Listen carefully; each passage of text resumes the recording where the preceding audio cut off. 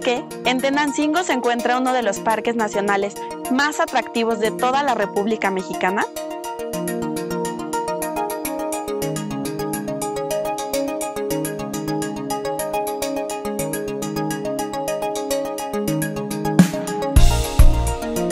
Así es, se trata de un bosque de coníferas y encinos que abarca una superficie de 592 hectáreas. Fue declarado Parque Nacional el 10 de octubre de 1942. En medio de este bosque se encuentra ubicado un convento de la Orden Carmelita, construido a finales del siglo XVIII.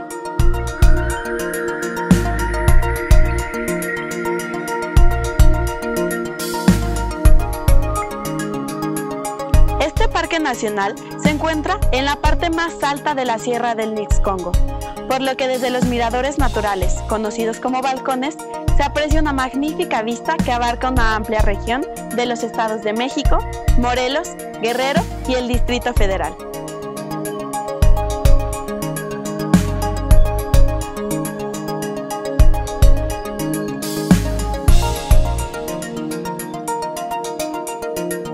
En días despejados es posible apreciar incluso los volcanes Popocatépetl e Ixtlacihuatl, que se encuentran en el otro extremo del Estado de México, en los límites con el Estado de Puebla.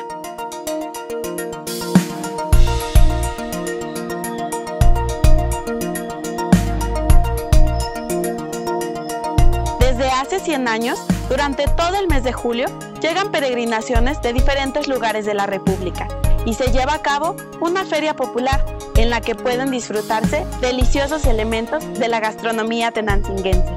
Por ejemplo, las tradicionales gorditas de haba, las quesadillas de hongos y el famoso pulque del desierto.